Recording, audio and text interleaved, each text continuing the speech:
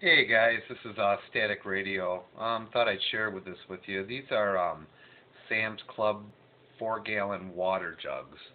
They're four dollars and eighty-eight cents. Um, I like to buy these for storage. They don't take up a lot of space. A little bit of, quite a bit of water in there, and um, you can move them pretty fast if you need to. Um, like I said, they're four dollars and eighty-eight cents for four gallon. You can compare it with this here. This is a Sam's Club 40 pack. That's a little bit over five gallons of water, and that's 3.98. But then you got the water jugs all over the place, and I don't know. It's hard to carry. It's not easy to move, and so I really prefer to buy these. I use these um, at home and up at the cabin.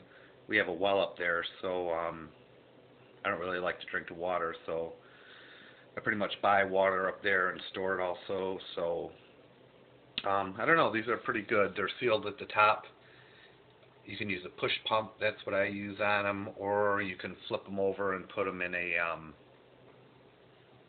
in one of those water dispensers. But I don't do that. So, but anyway, like I said, they're four dollars and eighty-eight cents, four gallons, easy to store, easy to move, and um, I like them. So check them out and. Um, Thanks for watching. This is Static Radio. Bye.